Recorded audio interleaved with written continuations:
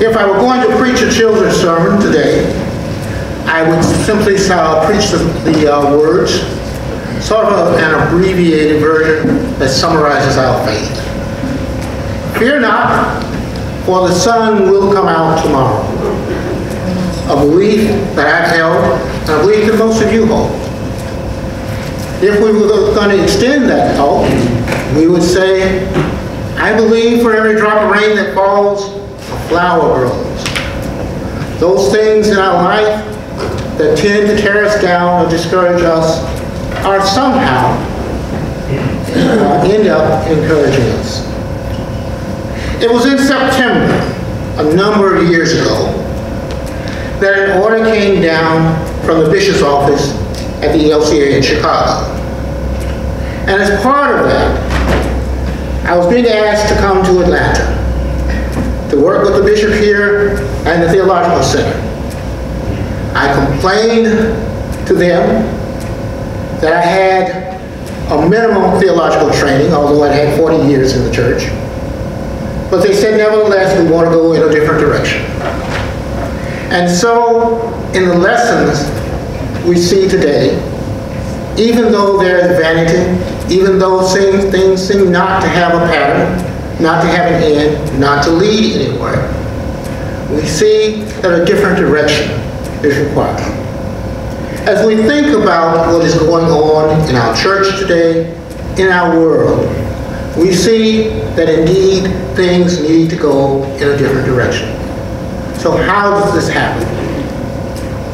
In the process of transferring from the Chicago area to Atlanta, we found that we had all this stuff that we had accumulated over some 45 years at that time. What would we do with it? Well, one of the things that we did was to give it to the church, and the church had a garage sale. Another thing that we did was we let them pack it up, and they put it in storage sheds there in Illinois, two of them. And the rest of it ended up in the garage here, that that we did not need. And so this story, the gospel story, reminds us of what do we do with all of that stuff that we have accumulated over all the years. Who's going to take grandma's china? Who will take the crystalware? Who will take all of those books? Will there be anybody to help with that? And that is the dilemma that we find. We are so fortunate indeed that we have a lot of stuff. We've packed it up. We're not using it. That despite the fact that there are people who literally have no stuff, if you will. That despite the fact that there are people who are hungry. That despite the fact that there are people who are sick. What do we do with our stuff? How do we handle it? How do we handle all of the things that we worked for, supposedly, but now do not need, and now that we retired from? What happens to all of this? And perhaps the answer lies in God. Perhaps the answer lies in statements that Jesus made over and over again throughout his ministry. Where do we go? What do we do with it? Of, is it of any value to anybody other than ourselves? Well, we store it up. And we store this stuff up much like we stored up some of our shortfalls. Much like we stored up the inability to forgive and to forget. Much like the ability that we have, or the inability that we have, to move on when we should move on. And so, what happens? We find ourselves over and over and over again not able to move on because we're burdened by all of this stuff that we stored up. All of this stuff that we kept within ourselves. All of this stuff that we cannot let go of. So what do we do? Where do we go? What can we do about this? Well, the gospel lesson suggests something. I'm not sure it actually says it, but it does suggest that we let go of it in a certain way. The first lesson suggests that we have stored up this stuff, perhaps in vain, but at some point, it was useful. It was something in addition to or other than, both of those, that we needed or that we wanted. So what do we do? What is this dilemma? Where do we go? The gospel lesson is clear for us, and that clarity rests in the statement that we are to love our Lord thy God with all our heart, soul, and mind, and to love our neighbors as ourselves. It goes further and says we are even to love our enemies. As I think about that, and probably some of you find yourself in the same position, loving some of our neighbors is difficult.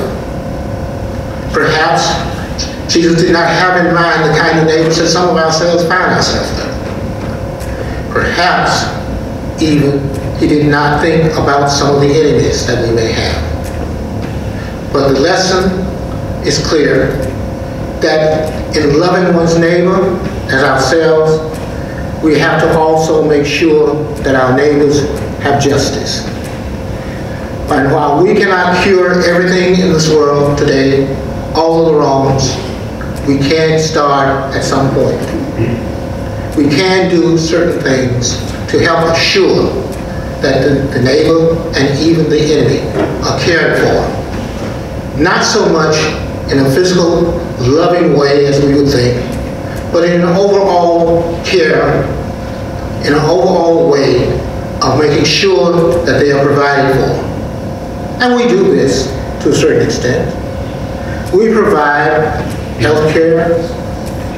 Uh, the church provides care through your giving, through your donations, through your tithes.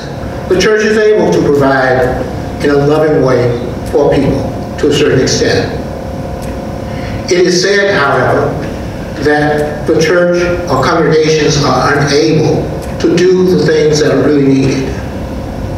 For example, to take care of the needs of all the poor in this country uh, without the help of the federal government, each congregation would need to pay out about $45,000 a year.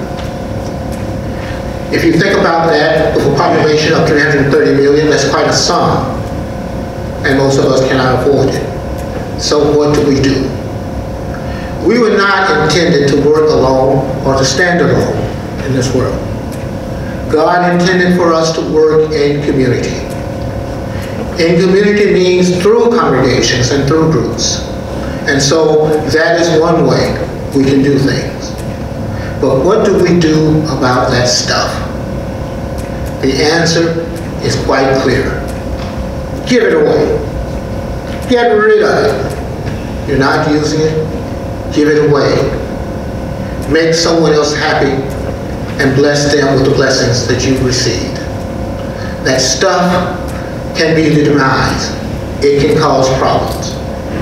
So how do we approach this? How do we approach the gospel lesson when there is too much for an individual, for us? We approach it by being generous. We approach it by doing some of the things that many of you in this congregation, or this congregation as a whole, is doing. Supporting those who are hungry, supporting those who have need, supporting those who are naked, visiting the sick, uh, visiting and smiling at children, helping to provide for them, encouraging them. So what do we do? We give it away and we beg somebody to take grandma's china.